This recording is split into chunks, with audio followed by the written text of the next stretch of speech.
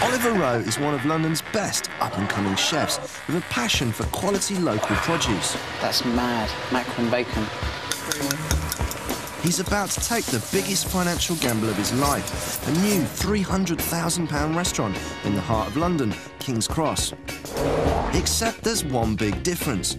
All the food he sources for the restaurant will be grown or reared from places he can get to on the tube.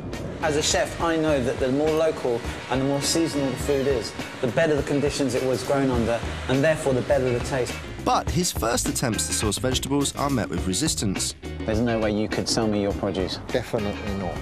The restaurant financing runs into some problems. Every time I think about the restaurant, all I can think of is this weight on top of me. And has he found a particularly interesting source of meat? Braised fox, yeah. Uh, uh, adobe of fox. Potter fox.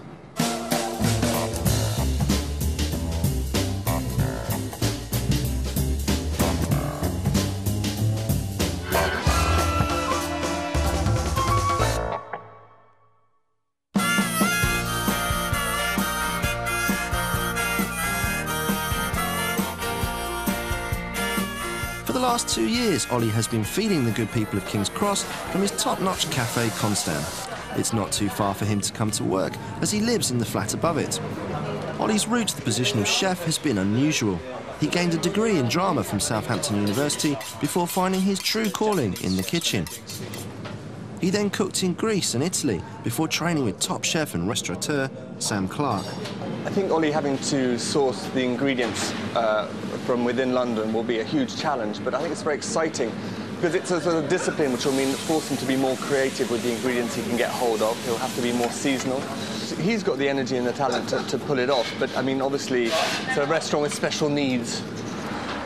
In January 2004, he opened the cafe to critical acclaim and employs four people. Paul is Ollie's number two. On a basic level, he's really scatty.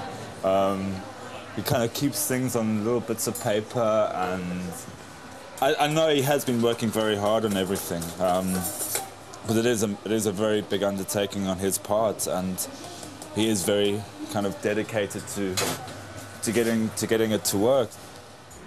And just across the road is the former pub, the Prince Albert, which in only five months' time will be transformed into one of London's best restaurants. Here we are. This is the objective of my desire. Uh, this is front door. You kind of come in, and uh, this is going to be the seating area around here. The bar's going to be here. Kitchen's going to be there. You can have chefs producing fantastic food right in front of you. It's going to be brilliant.